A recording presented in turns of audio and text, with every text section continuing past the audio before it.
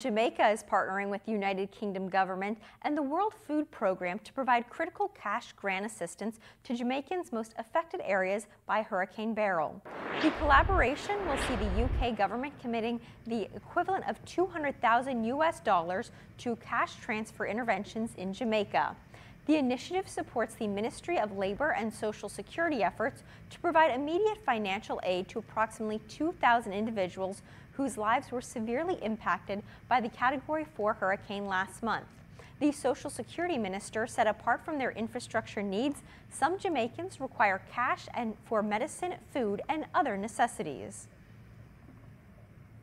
The cash grants uh, that will be provided to the most vulnerable, those who are disabled, those who are elderly, those who require our support, those single mothers who are alone, who have four or five children and don't have the support.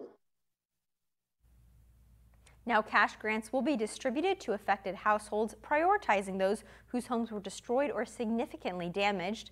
Special attention will be given to Jamaicans with children, people with disabilities, and the elderly.